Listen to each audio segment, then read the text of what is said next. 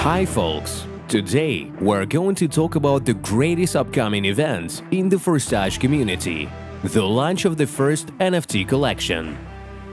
Watch this video to find out what the NFT collection looks like and who is the main character, how many NFTs are out there and what makes them different, how to mint a free NFT, what is an NFT box, what are the advantages of an NFT, when is the release. Let's move on. The main character of the collection is our community's all-time mascot, the one and only gorgeous Puma. Each unique NFT is based in the ERC721 Smart Chain blockchain format. Each Puma has a different set of attributes. Some attributes are rarer than others. The total of attributes determines the rarity of each NFT. Common, uncommon, rare, epic, and the rarest legendary. Each NFT will have a unique look, a total of 99 million variations are created.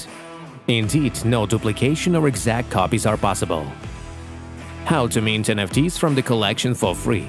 It's easy. If you have a Forsage BUSD account and at least one additional level activated, you are entitled to one random free NFT with the common rarity level.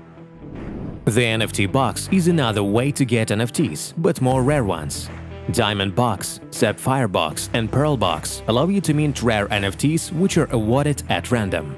NFTs will be a tool in future for such products. NFT with uncommon, rare, epic and legendary rarity will give its owner a special priority access. Next year, we'll see an NFT marketplace where users will sell and buy NFTs, as well as bid in auctions. This truly epic event will last exactly three weeks, that's how much time everyone has to mint their NFTs. The start date will be announced in the official Forsage Telegram channel. Check the link in the description box down below. Get ready for the event. Go to busd.forsage.io to register and activate at least one more level.